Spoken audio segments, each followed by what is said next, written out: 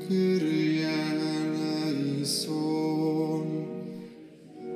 8 sierpnia wspominamy błogosławionego Zefiryna Gimenez Malla, męczennika. Zefiryn, znany także jako El Pele albo El Calo, urodził się 26 sierpnia 1861 roku w Benavent de Lerida w hiszpańskiej Katalonii. Przyszedł na świat w katolickiej rodzinie hiszpańskich Romów, którzy żyli jako wędrowcy w Katalonii i Aragonii.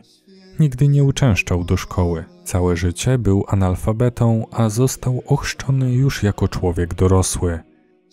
W 1912 roku, mając 51 lat, zawarł sakrament małżeństwa z Teresą Jimenez Castro, z którą od wczesnej młodości był złączony ślubem zawartym w tradycji romskiej. Małżeństwo to było bezdzietne, ale małżonkowie adoptowali Pepitę, krewną Teresy.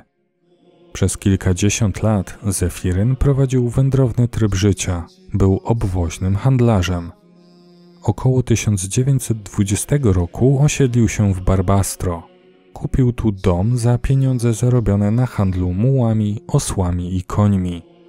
Zefiryn darzył sympatią zwierzęta, a zwłaszcza konie wyścigowe. Kilka z nich było nawet jego własnością. Aktywnie uczestniczył też w życiu religijnym.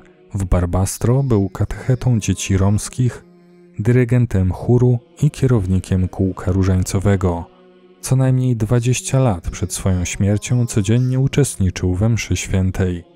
Nie rozstawał się też z różańcem, na którym modlił się każdego dnia. W 1926 roku, cztery lata po śmierci żony, Zefiryn wstąpił do trzeciego zakonu świętego Franciszka z Asyżu. Miał duży autorytet i często zwracano się do niego z prośbą o pomoc materialną oraz arbitraż przy rozstrzyganiu sporów. Handlując bydłem, Zefiryn zawsze postępował w sposób sprawiedliwy i uczciwy.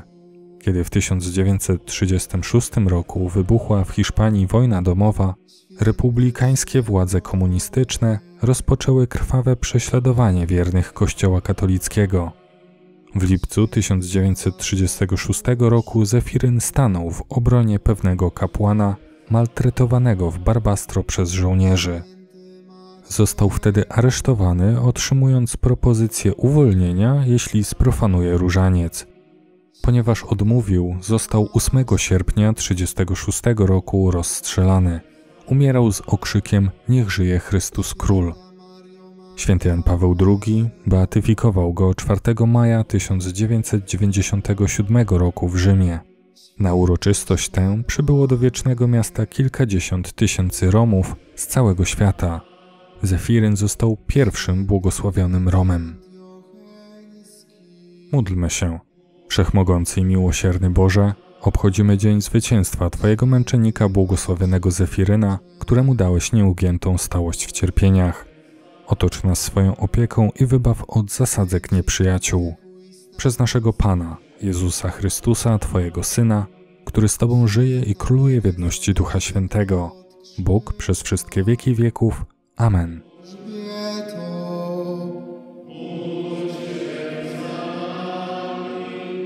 Wszyscy święci, święte Boże.